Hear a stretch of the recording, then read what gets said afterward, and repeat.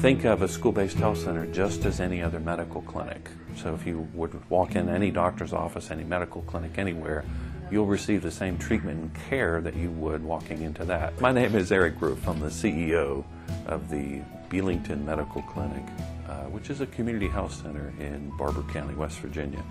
I also serve as the president of the West Virginia School-Based Health Assembly. It's our satellite clinic that we have in the school that we see kids there. It's basically like a doctor's office within the school setting. Kids will come down for colds and whatnot, and we've seen Taylor for little things like that to begin with yes. over the, over time, and then we just become more familiar with her and just kind of take her on more as a patient. Right. And become more involved in her care as a whole. That's how it started. It was just, you know, general colds and ear infections and things like that because Taylor didn't want to miss school. And so as long as it wasn't contagious, I could let her go to school and then pop right down and see Jody. Jody could evaluate what's going on and Taylor could still go to school. What the school does every year at the beginning of the year is we send out paperwork for them to sign up to be able to use this facility.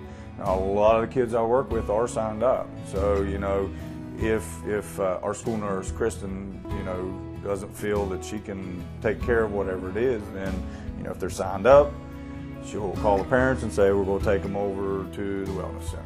And that works out well too. You know, several times with my, with my students, that's worked out real well.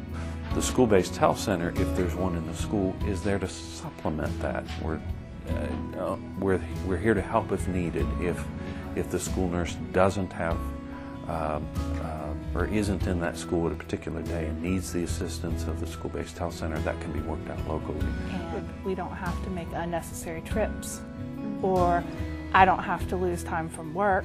It's really good because with having a sick child, I'm out of days most of the time. So Jody can see her right there at school or someone can bring her to the site and Taylor doesn't have to go clear to Cleveland to be managed. Uh, there are 88 um, school-based health centers in the state uh, that serve 107 different schools in the state in 32 counties. So work with the County Board of Education, work with the schools to determine what would be most helpful to these kids to, to keep them in the classroom, to keep them healthy in the classroom, and so that we can serve them, treat them right there in the school you know, help mom and dad out and then get them back in the class. You know, when you can educate teachers and staff about a student and their needs. And that's what I mean. She has helped so much. I don't think we would have had the experience with Taylor if we didn't have this opportunity with Jody and the and the school-based wellness center being at the school. It's it's been valuable. We just feel like what we do is special, unique, and helps the students, obviously, which is what we're trying to do. Our goal is pretty much to keep her functioning with her family in school and try to do the normal things that kids do and ultimately keep her out of the hospital. That's pretty much what we're doing. Exactly, because I do know that if if we didn't have this health center here, if we did not have Jody, Taylor would be in Cleveland a lot more. She would be there probably more than she's at home which would be a real hardship for my family and my other children and my job. So because Jody's here and she's so good at what she does and the other staff care and try hard to help you know, with Taylor, we're able to keep her home and it, it saves our lifestyle, it saves our family. So it's a really important um, piece of our community, I think, for a lot of people because it's not just me, but you know, it does help us a lot. So happy and, and, and thankful that, you know, they, they had the, the thought process of something's wrong, we can't really see it here, but we're going to send him to the right place. So, you know, they cared enough to do that, and I'm, I'm really appreciative of that. She was Taylor's Make-A-Wish.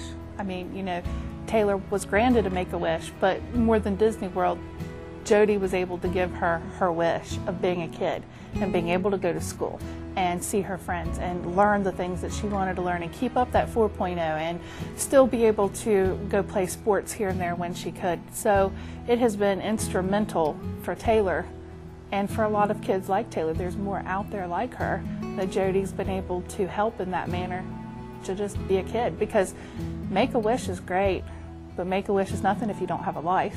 And Jody's given her that life.